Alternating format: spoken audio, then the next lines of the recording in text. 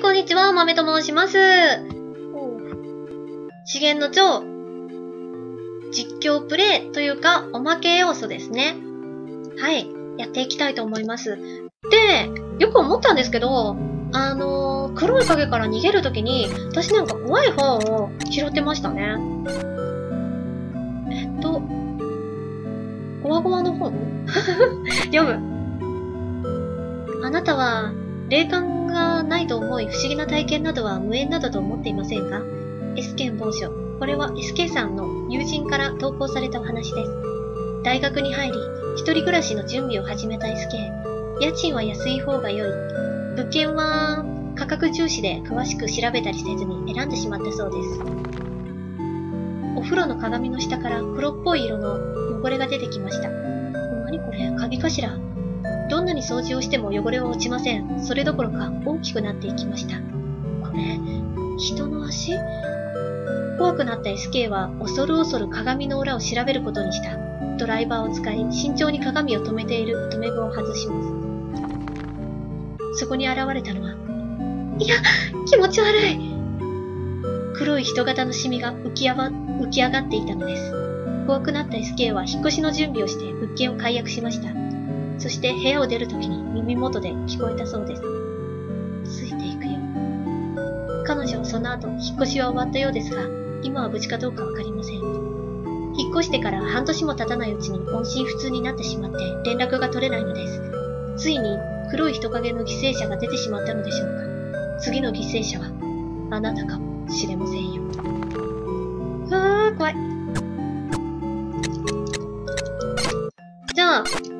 まけ、おまけ病、見に行きましょう。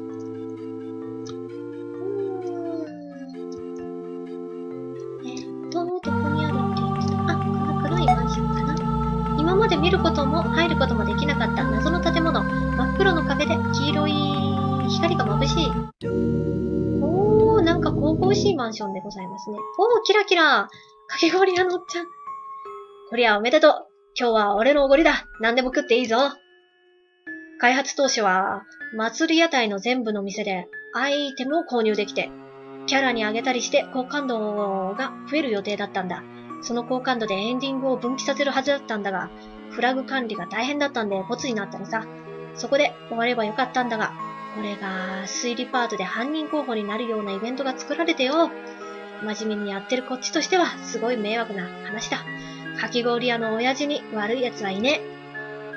俺を犯人にしたと思って推理を進めるとゲームオーバーにならないけどヒントもなしだ。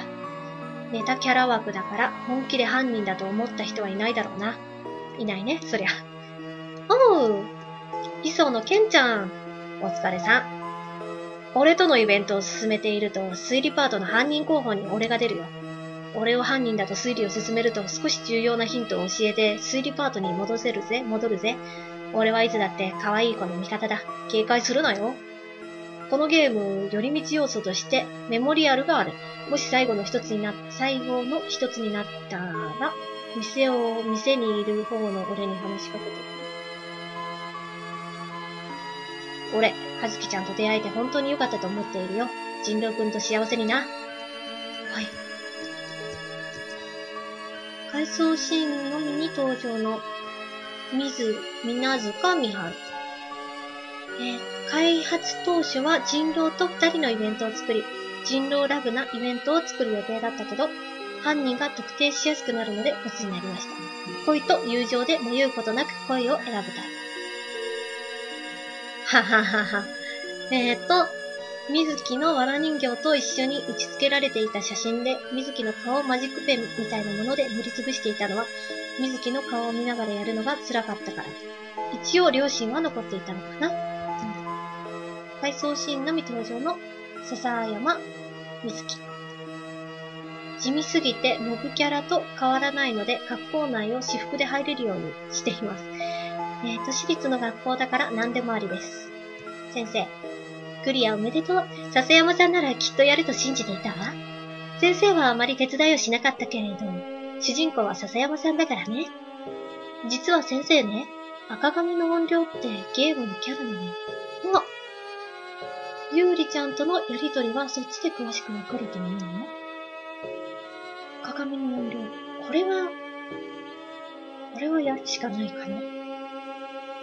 世界観的につながりがあるから、よかったら遊んでみてね。はい。うん、ちょっと遊んでみよう。お母さんの死因？交通事故だったんだ。でも犯人は捕まっていないんだ。もしかしたら、水木と同じように誰かに呪いをかけられていたのかもしれないな。水木のピンチに落ちた雷はお母さんが助けてくれたんじゃないか？なんでそんなことまで知っているのかって、それはお父さんだからだ。話は変わるけど、この音楽を聴いてくれ。ああ。え、どうしたお父さん？何お父さん？今の音楽はお父さんの部屋のパソコンで遊べるミニゲーム用の音楽だ。そのミニミニゲームは作るのが面倒って理由でボツになっちまったんだけど。自作曲で気に入ってたんだけどな。ノリノリで楽しいだろ？楽しそうだろ？うん。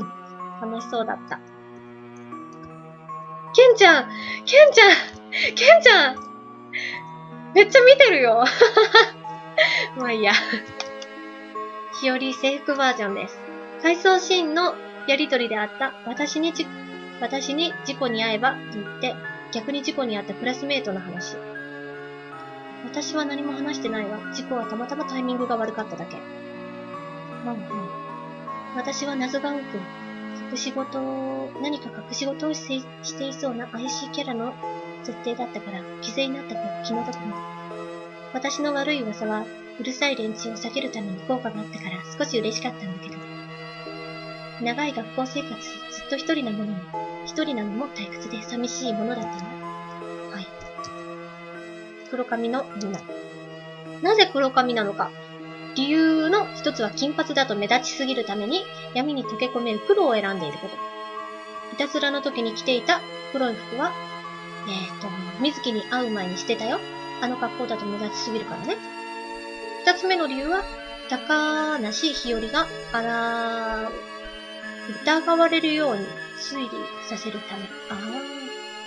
牛の国参りをするときって白い着物を着て頭にろうそくをつけてたりするみたいだけど、私は呪いの関係の知識がないから適当よ。でも、それでも強い呪いが、えっ、ー、と、水木って読んじゃった、私。はずきだった。はずきを襲ったんだから、無名神社ってすごいね。犯人が私だって一回で分かった？はい。簡単すぎたかな？攻略を見なくてもできそうな難易度ということで犯人の候補を、候補の人数が5、6人になったのよ。怪しい人は限られているしね。年齢制限のないゲームだから、このぐらいの難易度でいいかなと思ってるよ。もっとフェイクがいた方が推理が楽しくなったかもしれないけど、推理パートに入る前から、こいつ怪しいかもとか、この人は犯人じゃないかなとか、考えながらプレイしても、もらえたなら私は嬉しいよ。結構言ってましたね、今ね。へへへへ。おー呪いの藁人形をコップに入れた瞬間のドット絵。ゲーム中では一瞬しか見られないレアなドット絵です。一応3パターン作ったけど、多分使われていないね。子供バージョンのはずき。公園の滑り台を調べると、回想シーンが流れた時に登場します。オープニングで入れたかったけど、長くなるのでやめました。もう、見た見た。ほー最後は助けてくれてありがとうね。私は呪いに手を出した時点で、あの巨大な藁人形に心を支配されてたんだよ。こんな姿になってたし。そうだったね。はずきが藁人形を燃やしたから、私も解放されて写真も綺麗になったんじゃないかな。あの香水高かったんだよ。別にいいんだけどね。香水で炎があんなに燃え上がるかは知らないよ。説明書に火気厳禁って書いてあるし、燃えるんじゃないかな。本編で人狼をなぜ好きになったか、イベントはなかったけど、理由は、あの筋肉素敵マッチョっていいよね人狼くんに一目惚れして、はずきが一緒に歩いてるのを見て、学校ではずきと友達になり、人狼くんに近づいたんだ。そんな裏があったのか。ちょっと強引なところもいいよね。好きだったのにな。ちょっと。いきます。真っ向勝負しても、葉月には勝てないと思ったから、呪いの力に手を出したのよ。勝負する前から、私は逃げてたんだね。ホラーゲームに分岐、分類できないほど恐怖、恐怖演出の少ないゲームだったけど、最後まで遊んでくれてありがとう。こちらこそ本当にありがとうございます。血の流れないホラーが作りたかったんです。でも、ホラー少なすぎて、ソフトホラーとかホラーチックゲームということで本人は出してると思います。この建物のどこかに黒い影がいるらしいよ。もう見つけた？まだまだまだ。あの影が今回の作品で一番怖い演出の部分だったと思うんだけどどうかなうん。あのね、すごい、ね、いろいろあったよね。影に追っかけたと、追っかけられた時にちょうど、ね、電話も鳴ってね、心臓が破裂するかと思ってね、本当に。お助けキャラっぽかったのに、あんまり役に立ってない有利です。無名神社の神主ってお墓参りイベントでいたおじいさんの設定だったらしいよ。おじいさんがかわいそうって理由でボツになったんだけど、神主は不明なまま。呪いってビジネスって、呪いビジネスって本当にあるみたいよ。しかも一部では人気みたいだし。幽霊よりも人間の方が私は恐ろしいわね。開発開発当初の予定だと、無名神社は全焼予定だったんだけど、焼け跡のマップ作りが面倒なのでボツにしたのよ。主人公は放火魔と言われそうだしね。確かに。今でも十分やばいとは言わないでね。最後は自分自身で藁人形をやっつけるってことで、あんな結末になっちゃったけど、いい子も、いい子も、いい大人も真似しちゃダメ。はい。バイトする前の人狼だ。2P カラーとか言うなよ。三春が一目惚れした瞬間のイベントを作る予定でしたが、ボスになりましたとさ。ちゃんちゃん。よ、ベタベタな幼馴染設定の人狼だ。俺とのハッピーエンディングがハッピーエン、あ、俺とのエンディングがハッピーエンドなのを納得できない人も多いんじゃないかな。他のキャラとのエンディングもあるけど、俺のエンディングの後の方がトゥルーエンドに繋ぎやすかったんだ。俺に嫌われたミハルはボロボロになって少し気の毒だったけどな。はずきのことは名前で呼んでたけどな。みはるのことはお前らのあいつとしか呼んでなかったんだぜ。好きなやつと苦手なやつの差だな。ああ、そうなんだ。俺がみはるのことを苦手な理由に香水臭いからって設定だったんだけど、イベントで香水が嫌いを表に出しちゃうと、犯人バレバレじゃん？そんなわけで、ボツになったのさ。香水の匂いよりシャンプーの匂いの方が好きだな。確かにね。ソフトな感じがいいよね。俺を犯人で推理を進めると、葉月が死ぬ最悪エンドになるぜ。見ました、見ましたもん。クリアおめでとう。お疲れ様。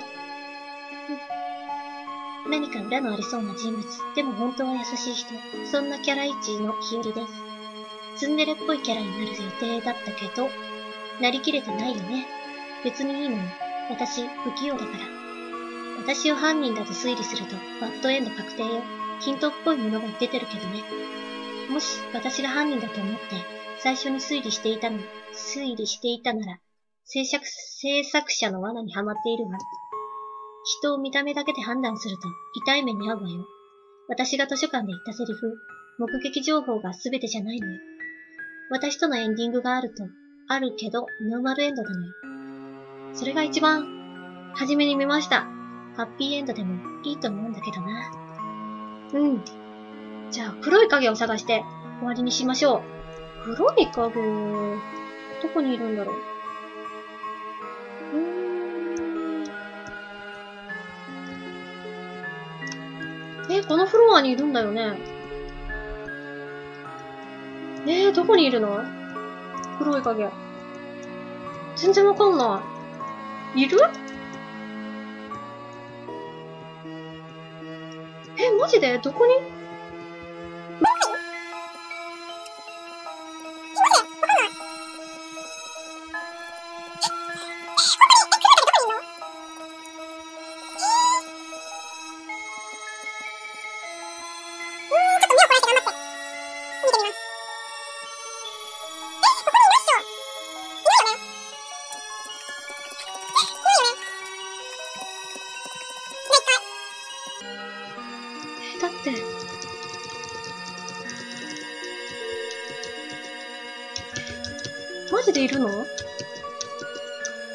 いたいたいたいた。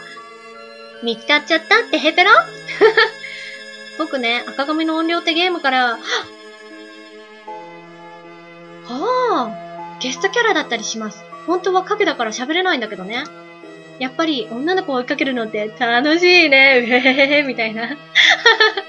サブイベントで入手できるアイテム、怖い本シリーズは僕と微妙に関係性があるのさ。僕の正体は謎のまま。呪い？幽霊？いろいろあるよね。えっと、世界にはまだ科学で解明できないことがたくさんある。僕はその中の一人かもしれないね。またね。バイバイ。またね。ということで、うん、資源の蝶 すごい楽しかったです。呪いをテーマにした作品なんですけど。いやー、女って恐ろしいですね。でも、うん。それはね、あの、わら人形にみはるちゃんが心を支配されてたからね。うん。最終的にはまあ、綺麗な友情ですよ。はい。